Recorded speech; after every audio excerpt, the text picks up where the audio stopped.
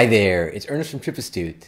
In this video, we're doing a gear review of packing cubes, one of the easiest and most effective ways to take your packing to the next level.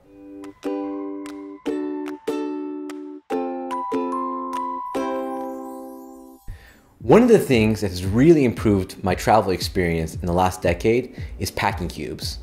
While there's tons of videos and articles out there on the subject, we want to do a quick gear review for those of you who might not be familiar with these products. Packing cubes are lightweight, zippered compartment bags that allow you to organize the contents of your luggage. The bags often have some level of elasticity, allowing them to compress the clothing inside.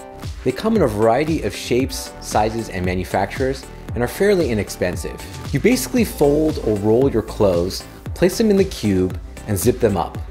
Once you're done, you just place them in your suitcase.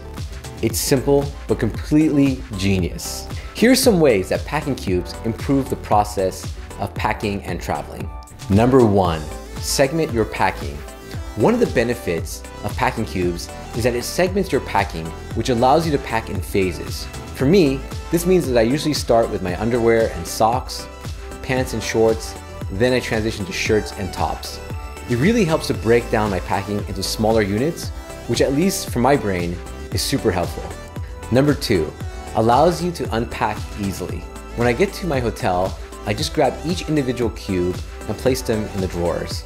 It's not only efficient, but it keeps my clothes from getting wrinkled. This is also handy if you ever get stopped at customs and are asked to unpack your bag. This happened to me in Thailand, and when I quickly unpacked all the cubes from my backpack, the customs officer seemed pretty impressed. Number three, compress your items. Another benefit to packing cubes is that they can compress the items in your bag.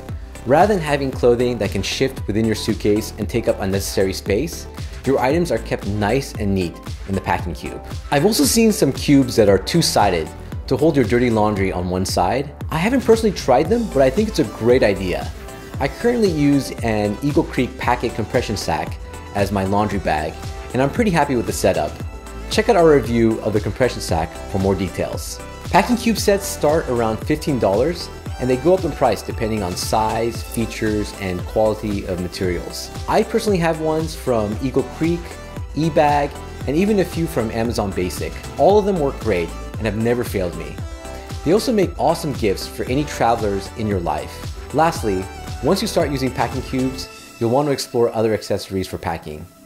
Some of the other accessories that I would recommend are shoe bags, a compressible laundry bag, and a garment folder. And that's our gear review. Do you use packing cubes or any other special gear for packing your bags when traveling? If so, please share them in the comment section below. I've included some Amazon links in the video description. TripAstute does get a percentage if you use our link. It doesn't cost you anything extra, but it helps us to create more content for this channel. If you enjoyed this video or found it useful, please hit the like button and consider subscribing. It's free and you'll get notifications on all our new updates. Until next time, travel safe and travel smart.